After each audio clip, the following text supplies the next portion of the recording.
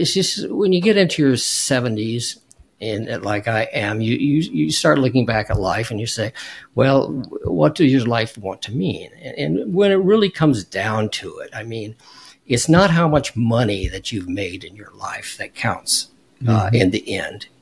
It's how many people's lives you've improved.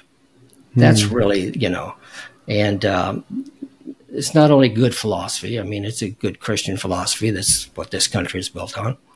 Mm-hmm. And uh, it is it's a good way to live, I think. It gives you a lot of peace and a lot of satisfaction. Yes. So I said, I'm going to put all this knowledge into a course because online courses are really the thing nowadays mm-hmm. uh, for those that are willing to to to uh, to take the time to earn.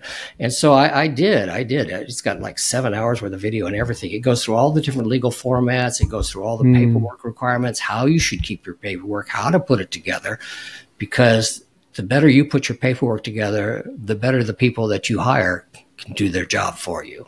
Mm. And then it goes through all of the tax consequences of all the legal formats and how all these three things tie together to work together to help you uh, build a solid foundation onto your business.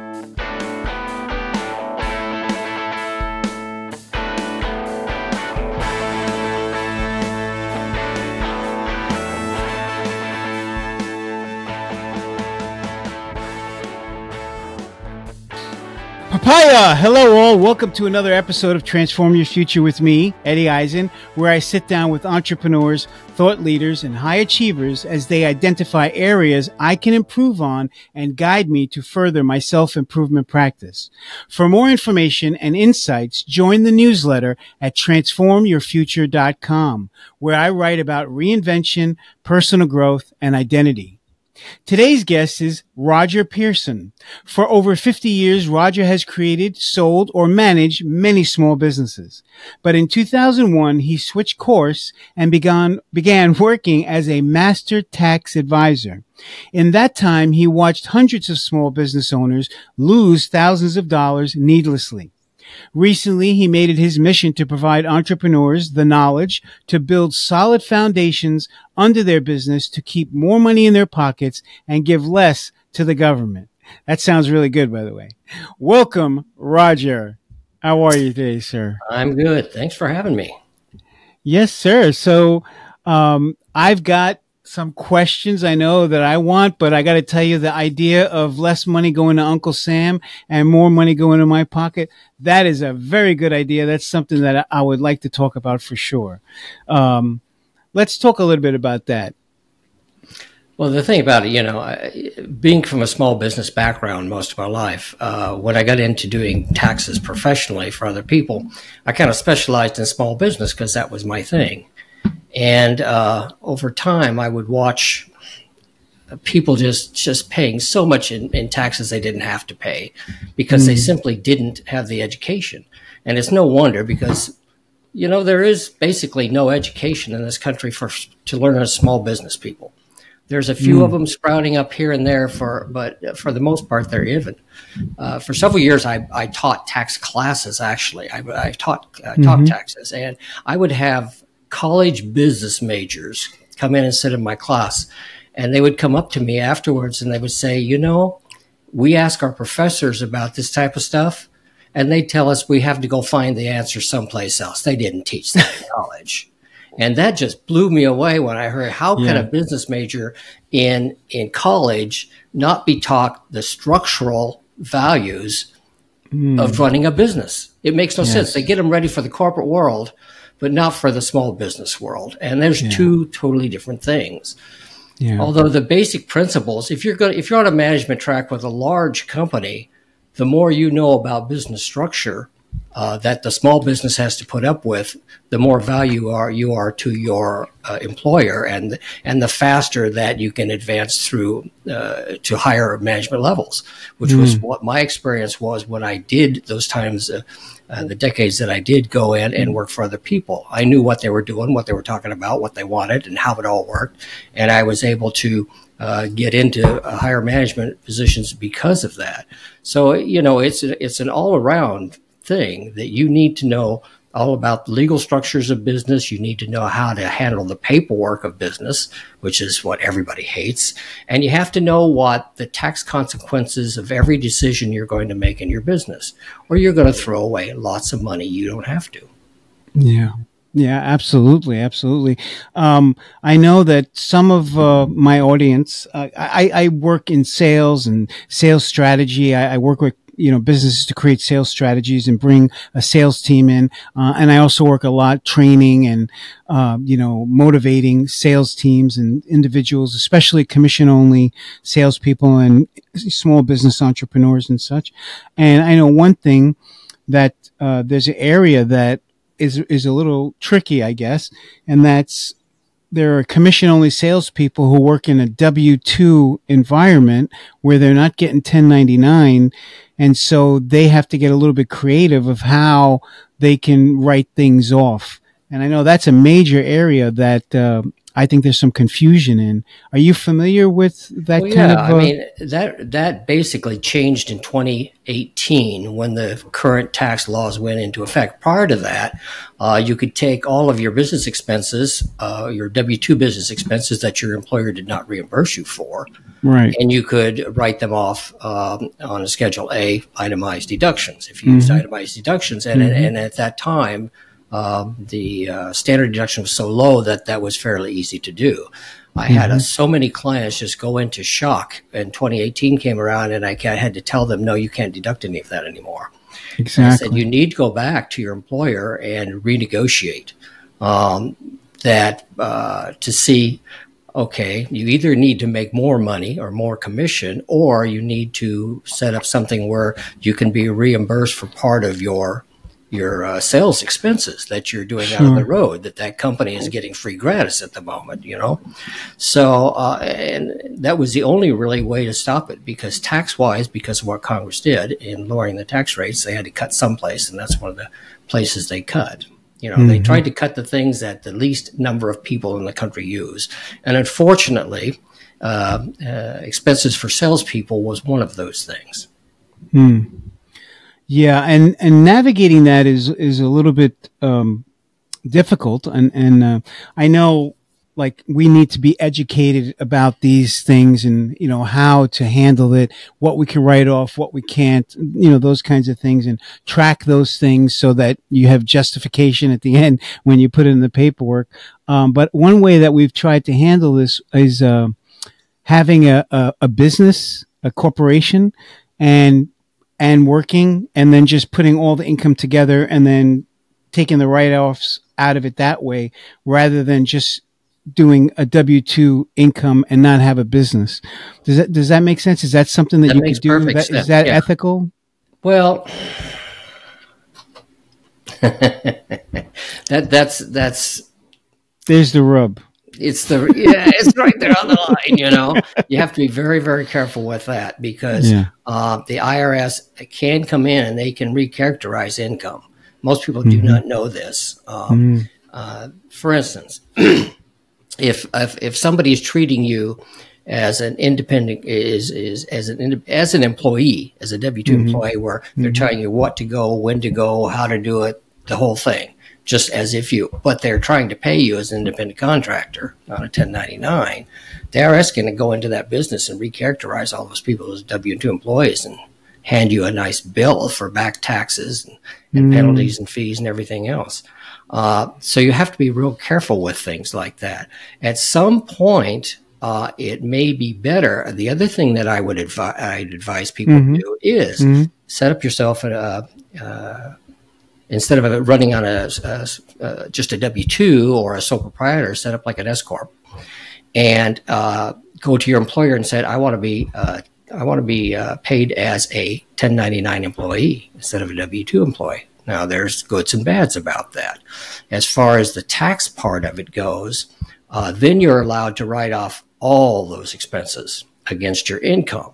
Mm-hmm. And it mm-hmm. could be when you go into a negotiation like that, uh, where I say, "Oh, I'd rather be paid this way than that way," um, you're going to lose benefits and things like that generally. So you have mm-hmm. to weigh that into the factor, how much those benefits are worth. And most people have no idea how much their benefits are worth. Uh, mm-hmm. They just know what the net amount they get in their W two is. Mm.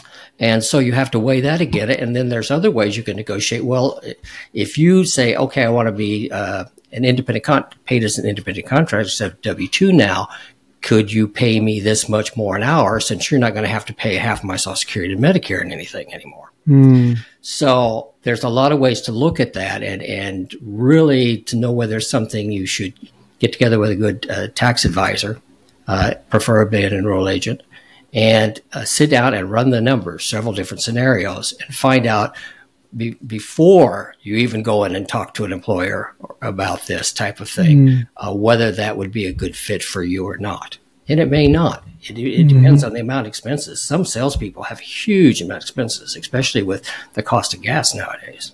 Yeah, absolutely. What was that term you just used um, when you said get get a uh, tax advisor? You used a certain term about oh, an said, enrolled agent. Yeah. What does that mean? Enrolled agent is like the PhD of the tax world. You know. Uh now there's there's several different classifications uh, uh, that can practice that can represent somebody. Like a lawyer represents you in court. There yes. are certain people that can represent you with a limited power of attorney uh, with the IRS. So you don't even have to talk to the IRS. You know, hmm. uh, you can give this person permission to do that. Uh, CPAs, by de- definition, can automatically represent whether they know anything about taxes or not. Uh, lawyers can represent before the IRS, but enrolled agent is somebody that is the only uh, classification of representation that you have to earn by knowing tax law. Mm. You have to ha- you have to actually pass three three hour IRS exams to become wow. an enrolled agent. You have to take 25 hours worth of continuing education classes uh, on tax subs on tax subjects and ethics mm-hmm. every single year. And so, uh, if you really want to know somebody that is versed in taxes, that's that's the highest that you can get in the profession. And, and it was an enrolled or enrolled uh, agent is called an enrolled agent. Yeah, right.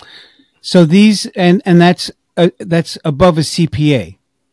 Yeah, I mean, a CPA. A lot of people think that CPAs are experts in taxes, and uh, some of them are. Some of them take tax classes every single year because they have to take continuing education. Also, mm-hmm. the fact is that um, to get a CPA certification, you have to take some basic tax classes your first year to get your certification. After that, uh, unless they changed things very recently, uh, you never have to take another tax class the rest of the year. And I find that many CPA firms doing taxes on this is a, is a side job. It's extra income for them. That's mm. why they, they do so many extensions uh, for people and then just do them after tax season's over, you know, when they got some mm-hmm. extra time. And it's a shame. It's a really, really shame, you know. And and some of the things that I teach people in working with them is is how to uh, pick a good accountant or a good CPA if you want them doing your taxes also. Mm. And and and I have other I have clients also that they have a bookkeeper uh, or CPA uh, to do their accounting because that's mm-hmm. what they're good at. Mm-hmm. And then they have a separate tax advisor to do their taxes, uh, who they mm-hmm. take their P and Ls to. Mm-hmm. Uh, there's a lot of things to take into consideration when you're picking somebody. You know, yeah. I, I let's people, talk. Let, yeah. Let's talk about that. What is some good criteria for that? Well, the thing about it is, I hear so many, and, and I hear these these because I have to fix the problems that are created by these things, and and that's one thing I've I've learned over the years. Uh, I, I tell somebody that if they're if they're whoever they're doing their taxes with, um, mm-hmm. and even their bookkeeping with, if they don't want to sit down and talk to you, uh, if they're one of these firms just drop it off, I'll call you when it's done. Run, run away, go away. That's if if you care about your business and mm-hmm. your money, run away because they don't care. You know, if mm-hmm. especially if you're a small business person, I mean, the number one thing you're looking at for anybody you bring on your team, and you absolutely should bring on a tax advisor and a bookkeeper yeah. or accountant on your team, uh, because you you want to be out advancing your business, not taking care of something you can pay somebody a minimal right. amount to do. You know, right. And uh, but the things you You want somebody that cares about your business, you know? It's just when I take on a client, for instance, I mean, I know more about the trades than most trades, I think, because uh, I take on a painting business. I have to learn the painting business. For me to give mm. that person good advice on, on, on uh, how to handle his taxes and how to handle his accounting and everything else, I have to learn his business. I have to learn how he works, how he prefers to work, uh, how he mm. prefers to run his business, and then I can give him proper advice. But mm-hmm you need to find somebody that's willing to sit down and talk to you about those things, that ask those questions of you, that allows right. you to ask questions of them. Mm-hmm. Then you're going to have somebody that is proper to bring on your team. But if it's just this, oh, you're just another number type attitude you're getting from these people, run away, find somebody yeah. else because they're not, they're going to cost you money in the long run. Yeah. Yeah. And I think, uh, you know, um, a lot of, individuals don't put a lot of thought into getting somebody to do their taxes. Um, they'll, you know, they'll, they'll say, Oh, well, my friend, he does taxes. He does my taxes and I love him. Why don't you just call my friend?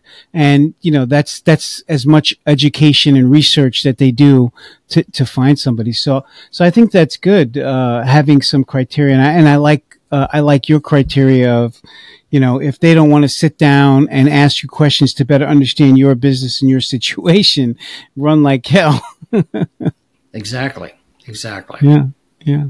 So how, what are the, uh, just, I know that this is a little bit kind of off topic, but what are the challenges when you have like, um, you have a, you have a corporation, uh, or an LLC, uh, for that matter, and really your main income source is coming from a W-2 income source, but you know, you're buying equipment, you're, you have some services that you use, uh, you know, maybe you use a part of your house to, to run the business and put your equipment.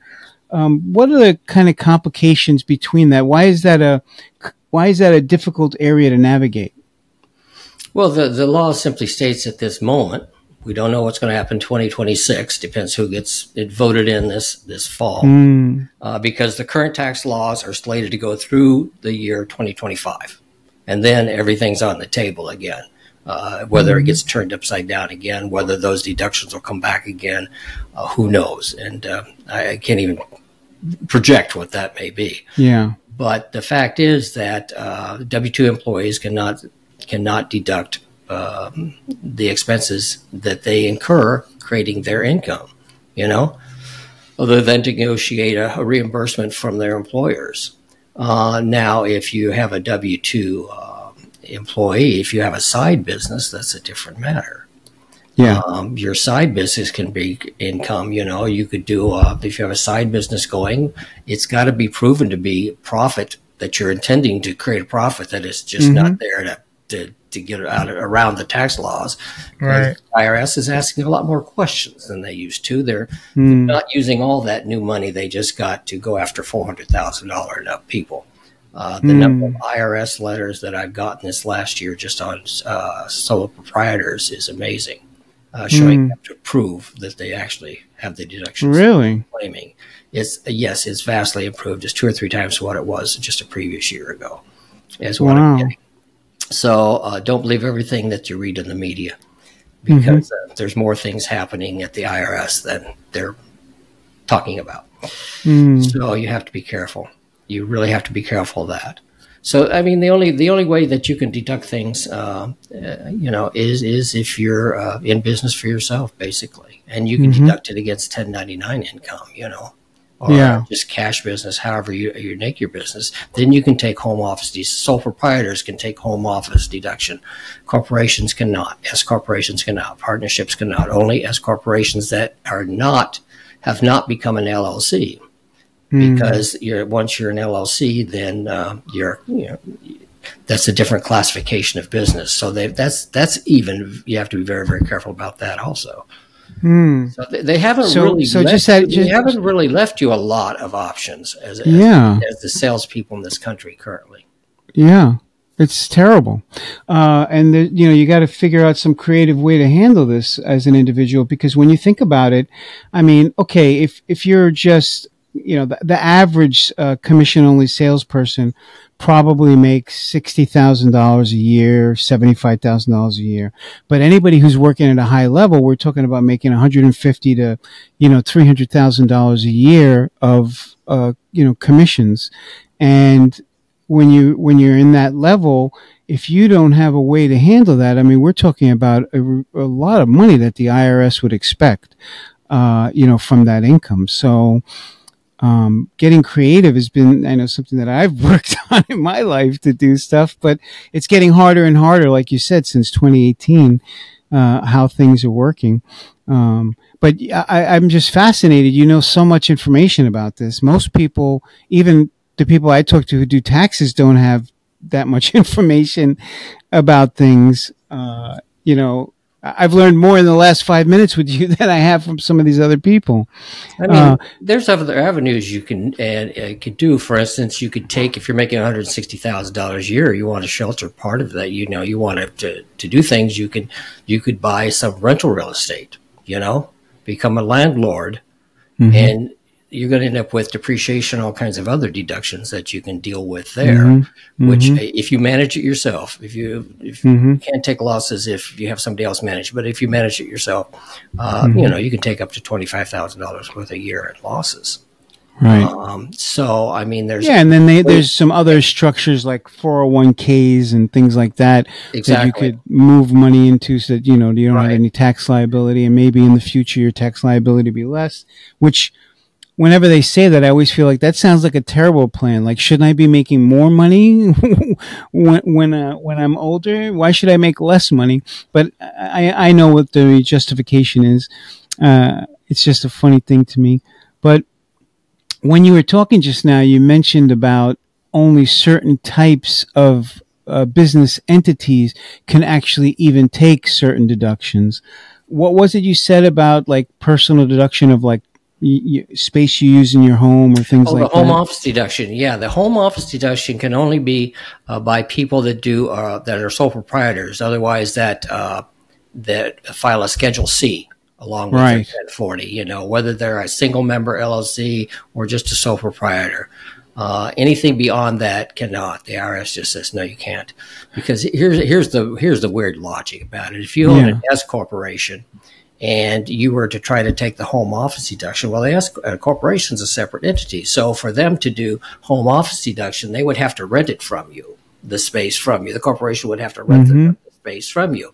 Well, that would make you a landlord. So then you'd have to file a Schedule E to claim that income that the corporation is paying you and take the deductions against that. And so one washes the other, and the IRS says, no, no, we're not going to mm. play that game and so mm. you just mm. can't do it. So you know you have restrictions like that also. But what about a C corp? Now a C corp is a totally different thing, and I run my business under a C corporation. Mm-hmm. A C corporation is a totally separate entity from um, the uh, taxpayer. It's just like IBM or Microsoft or mm-hmm. anything else. You mm-hmm. own shares in the company; they pay their own taxes, um, you know, their own expenses and everything else. It's totally separate thing. Uh, mm-hmm. And there, there's other benefits and things. There's more overhead, but there's also some other benefits uh, that you can give yourself uh, when you get into benefits and 401s and and and uh, so forth and so on. Uh, that that you can do that you can't do with the others. You see, because the, the C corporation is the only legal entity that actually pays its own taxes. Everything else, partnerships, S corporations, and sole proprietorships, uh, all pay their taxes on your personal tax return. It all flows mm-hmm. down your personal tax return. Mm-hmm. So, I mean, if you really want to put up a wall, yeah, you can do a C corporation, and, and that mm-hmm. does do that and have the that doesn't help your W two any, but as far as if you're running your own business, definitely you can do that. Now, at the current rate, sometimes it's more advantageous because the current rate for C corporations is 21%. Used to be in the 30s, and who mm. knows what it's going to be in two years. But um, and, and on your personal return, you may be paying uh, 24 to 30 percent if you make 150 to 200 thousand dollars a year. So that may not be ad- advantageous in the current mm. in the hmm. current situation. So these are all the things that a good tax preparer is going to be able to sit down and talk to you and advise mm-hmm. you. You know. Hmm. Um, I I just have one more question about that. So, if I go to look for property in another state and I fly there. Uh, I stay in the Airbnb for the weekend, um, and I bring a couple of people from my team. Am I able to write off the airfare, the uh, Airbnb, and maybe even some of the meals from when we're out of town? As long as it has a business purpose, yes. Yeah, because we're looking at properties to invest in. Right. Right. So, and that's under a separate company from UW2. So, yes. Yes. Yes. Yes. Yeah, that's all. That's all for business purpose. Now, if you were to take seven days and four of it would be uh, for personal and three for business, then you would just prorate it. Mm-hmm. Mm-hmm. Mm-hmm. Yeah, because you know you hear a lot of things, and while I got you here, I just want to make sure that the things I'm hearing, some of them are not true, some of them are true. So I'm just running it by you. So let's talk about how you help educate businesses, because I I think that's that's you know interesting um, that you know it's it's it's a need. There's a real need in the marketplace that people get involved in business. They start doing things, and um, they maybe don't know how to set up the business entity and maybe they're getting the wrong advice from some people because i mean when i when i hear people talking about business entities for some reason a lot of people just like to say open an llc open an llc open an llc and i'm like why why why llc like how do how does that help you in this specific situation? Um, and so the education that you provide to really look at what's the pros and cons of the different business entities when you start them and how that's going to you know affect you as a business in the future i think that's really important. Tell me a little bit about the education that you offer small to medium sized businesses Oh, let me start with the LLC thing because that is one of the most biggest misconceptions there is in the entire business world. Mm-hmm. Uh, an LLC, a lot of people think is a corporation. It's not. It stands for Limited Liability Company, and mm-hmm. they came up. It's it's not recognized at the federal level. It's only mm-hmm. recognized at the state level, and every all fifty states now have one. It took ten years for all fifty states to pass that, and they all work a little bit differently. All it does is give you because prior to LLCs, sole proprietorships and general partnerships had no liability protection whatsoever. Mm. Uh, if somebody sued the company, they could attach your personal assets. Right. So all LLCs do is give you somewhat of the same personal liability protection that you would give if you opened a corporation. So mm-hmm. you don't have to go through that extra overhead. Single right. member LLCs at the federal level are considered sole proprietorships. Multi member LLCs at the state level at the federal level are considered partnerships. That's all that does. You know. So, so the LLC doesn't pay taxes; the individuals do. Correct who are the members. All that does is is, is add uh, instead of you having to uh, uh, buy a million dollar liability protection for your personal assets for owning a business, mm-hmm. it gives you that uh, you pay the state so much a year, depending on the state. In Florida, for instance, one hundred and thirty eight dollars and fifty cents a year they want, mm. and uh, you you you add that layer of liability protection on top of your business. That's all it does. That's mm-hmm. all it mm-hmm. does. And that's the biggest misconception out there because people think, oh, I'm opening a corporation. Well, no, you're not. You're just adding mm-hmm. liability to your mm-hmm. existing business, is all you're mm-hmm. doing. So, what I did, I mean, I've been teaching people uh, all this stuff at the tax desk for, well, I just finished my 22nd year that I've done it now, which is incredible to me. I, I, I started as a part time job 22 years ago until I wanted to mm. figure out what I wanted to do. And uh, here I am. So, a couple years ago, I got to thinking I would love, you know, it's just when you get into your 70s and like I am, you, you, you start looking back at life and you say, well, what does your life want to mean? And, and when it really comes down to it, I mean, it's not how much money that you've made in your life that counts uh, mm-hmm. in the end. It's how many people's lives you've improved. That's mm-hmm. really, you know, and um, it's not only good philosophy. I mean, it's a good Christian philosophy. That's what this country is built on, mm-hmm. and uh, it is it's a good way to live. I think it gives you a lot of peace and a lot of satisfaction. Yes. So I said I'm going to put all this knowledge into a course because online courses are really the thing nowadays mm-hmm. uh, for those that are willing to to to uh, to take the time to earn. And so I, I did. I did. It's got like seven hours worth of video and everything. It goes through all the different legal formats. It goes through all the mm. paperwork requirements, how you should keep your paperwork, how to put it together, because the better you put your paperwork together, the better the people that you hire can do their job for you. Mm. And then it goes through all of the tax consequences of all the legal formats and how all these three things tie together to work together to help you uh, build a solid foundation under your business. This mm. is what hmm. they don't teach in school. You know, mm-hmm, mm-hmm. I mean, I mm-hmm. don't teach marketing. I, I'm the last one you want to teach marketing to. I'm probably one of the worst people at marketing there is. But when it comes to knowing how to put together a, a business and to properly structure it to give yourself a fighting chance, because I mean, small business is the backbone of this country we have to save it and we have to educate it and we have to, to make mm-hmm. it solid. And so I put this together and I've put it out there. People can take it. It's basically a college level course, you know, mm-hmm. but I've not only done that. I mean, I have a lot of free information on my website. Uh, I've got a YouTube channel that teaches some of this basic basic stuff. Mm-hmm. Um, mm-hmm. the, the, paid course is the college level course. It's the stuff they mm-hmm. should be teaching in college. They mm-hmm. should be teaching in school, but they aren't. And it comes in. And then I have other people that says, I don't have time. I'm not a study type person. I just want to sit down and I want to be able to talk to somebody and ask mm. all my questions. So I also added consulting services and tax mm. advisory services where mm-hmm. people can just get on a Zoom call with me and we sit down and we and we talk it out and answer all their mm-hmm. questions and and give them a, a, starting basis where they can go. You know. Mm. Uh, just out of curiosity, uh, you started to. You, what was what was the shift for you when you did this? Uh, you know, you were you were just uh, doing you were just working with businesses doing their taxes and you know, advising them on their on their taxes and their business, right? That's right. what you were doing before, and then you decided to create the courses to help educate people and impact more people's lives by giving them the foundational education they need to set up their business correctly and take the maximum write-offs that they can to keep more money in their pockets. What was that? What was that like?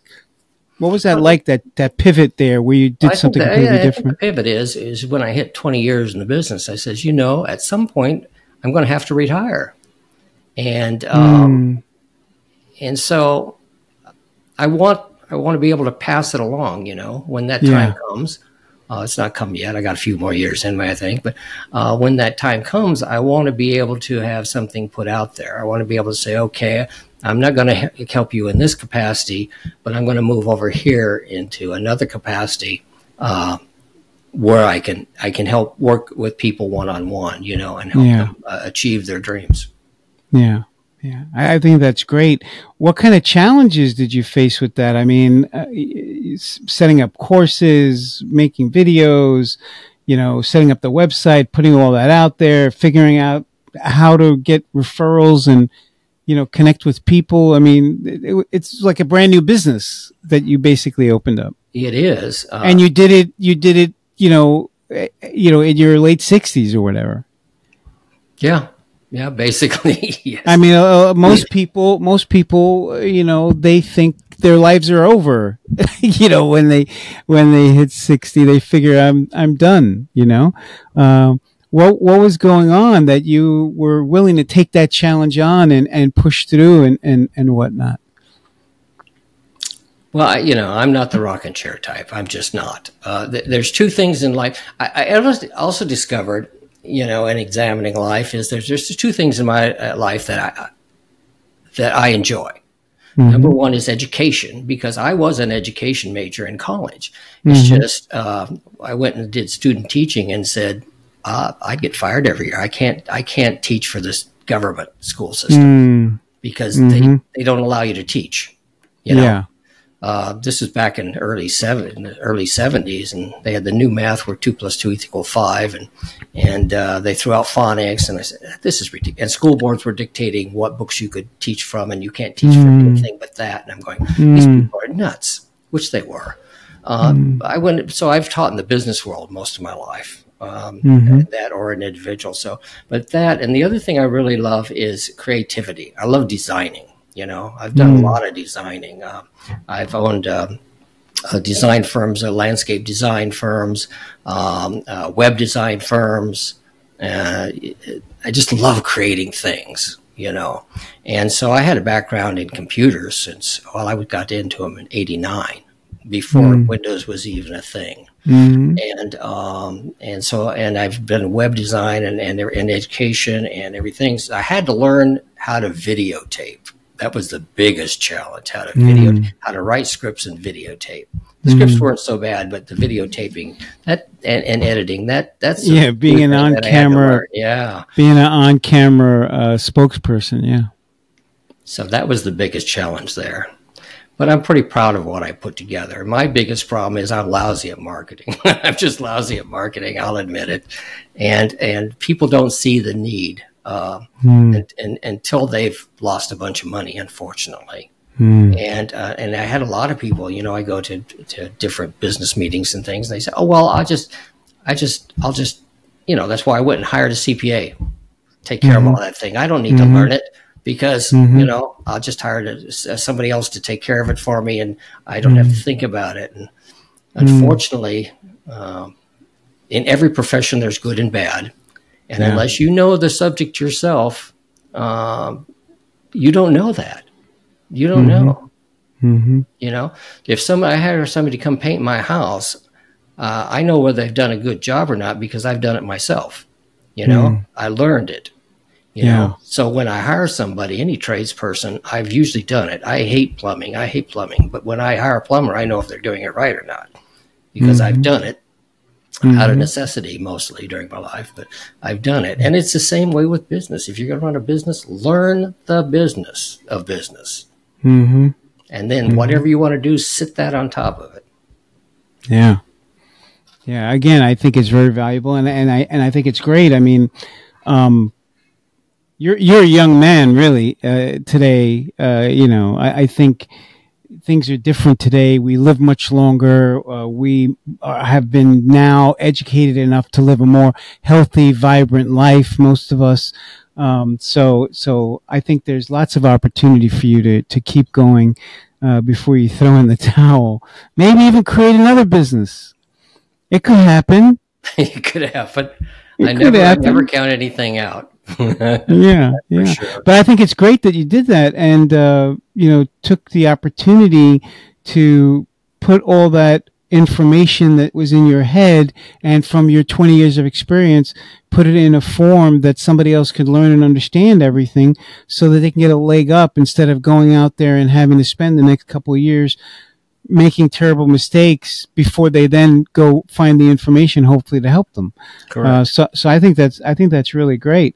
Um, and then when you do the consulting, um, is there different uh, specific trades that you're involved in, or you you work with all kinds of companies? I work with all kinds of companies. I mean, mm-hmm. the course itself comes with consulting, but for mm-hmm. people that uh, I have I have options for people that want that just that you mm-hmm. know Mm-hmm. And um, the other day, I was on somebody that was in Italy because they had it was an American citizen moved over there and wanted to start a little mm-hmm. business over there and, and didn't know how to do it. You know, so you, you never know what you're going to come across. It makes it very interesting. It really does. Yeah. So, but I built a, a corporate website uh, that I, I, finally had to redo my corporate website because I had all these things going on to where it just one website links to everything you know, rather than mm-hmm. me giving out three different uh, website addresses and things like that. Mm-hmm. Mm-hmm. Yeah, and I have I have your info, so I'll drop it in the show notes to direct people to your website and your course, um, so that they can take advantage of that. I appreciate that. Yeah, yeah. So Roger, um, tell me a little bit about you know you're doing this thing and you're making an impact and you're leaving a legacy Tell me a little bit about what what is that what does that feel like for you working with these customers and and getting making an impact for them and helping them to you know better themselves in a way and you know put more money in their pocket make their business a, a better structure? What is that like for you? Oh that's that's you know a lot of people a lot of people say well you know taxes are just numbers you know? Mm-hmm. Mm-hmm. And and I tell people, well, I couldn't think of anything more boring in my life than being an accountant. Uh, no offense to the accountants out there, because if you like it, good for you. But Mhm. uh, me, to me, it's uh, taxes. It's like me against the IRS. It says, how do I use the IRS rules to benefit Right. my clients? Right. And this is what the big corporations do. This is why you hear, well, this corporation didn't pay, they, they didn't hardly pay any taxes, whatever. Yeah, Exactly. they're using the tax laws in for the benefit of their clients. You know, it's it's uh, if you're buying equipment, do you write it off this year? Do you write it off over several years? Do you use depreciation? Do you use Section 179? How do you structure this to correspond with your projected income for that particular year to get the maximum deductions to reduce your taxability? Mm. all these things are fun. But here's, for instance, let me give you a story.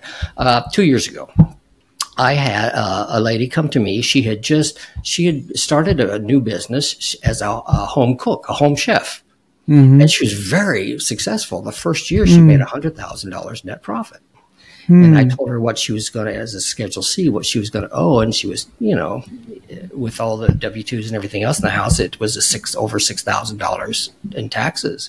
I says, no, you came to me early enough the year that I can I can do something about this. hmm So I had got her restructured into an S corporation, uh, and uh, restructured everything. The the end result was instead of owing six thousand dollars, she got a twenty five hundred dollar refund. Uh, That's good. because I taught her. Here's what, and she listened because she listened to me. I have people that don't listen to me, and I have stories Right. about that too. Uh, she listened to me. We did it. Uh, I knew all the loopholes in the laws to make this happen, and uh, not loopholes, advantages of the law to make this happen, hmm and uh, and was able to do it for her. And uh, she was very, very happy client at that point Yes. Yes. but there's only not every tax pro would know how to do that. Not every tax professional Mhm. knows how to do that type of thing. It has to Or would even take the time. or would even take the time exactly, Yeah. or even cares because a lot of them are just like accountants or CPAs that are paper pushers. Oh, Mm-hmm. next, next, next, next, next. Um, I, I sometimes get a lot of grief because I'm told, "Will you take too much time with the clients?" I says, "No, I take the time necessary with the clients." Right. do the best job for them I can do. And uh, if if the day I stop doing that, that is the day I should retire from what I'm doing. Yeah. That makes total sense. Yeah. But I have lots of stories like that. That's what I get off on, being able Yeah. to do things like that for people. So I know one of the interesting things is uh, this relationship when you find somebody who is a tax professional and an enrolled agent, uh, so that you can maximize your deductions and everything. How often do you meet with this person and communicate with them? Well, you should meet more than once. You should meet no less than twice a year. Usually, you'll meet uh, during tax season. I always recommend in February, by the end of February, always, uh, if you're running a business, and then again in October, November timeframe, because you need to really look over what's happened during the year at that point and project what's going to the next year to see if you need to make any changes before the end of the year that would impact anything going into the next year. So, and there are some people, in, when you get into larger businesses, you know, when you get into the, the half million to million dollar businesses, then you probably want to have a look quarterly. You really do. But a smaller business, I'd say twice. Uh, You know, I have a lot of people. The only time they, they, you know, they'll touch base with me. Uh, sometimes it's just a phone call where, you know, they, they tell we pick up the phone, we talk about where we're at and things like that at the, towards the end of the year because they they're thinking of doing some things the next year. They want my opinion on how it would affect them, you know, things like that. But that's the type of relationship that you should really have. It's just not somebody that. Uh, um, and it's not that I work in the tax office all year. I only work in the tax office most, mostly during the tax season. But for my small business clients, they they all have my phone number. And so a lot of them, you know, they will pick up the phone and call me or text me or something the rest of the year, and that's fine also. Yeah. What are some of the big mistakes that you see uh, people making when they're starting a business? The biggest mistake people make when not starting a business is paperwork. They don't keep track of their paperwork. They have no system, you know.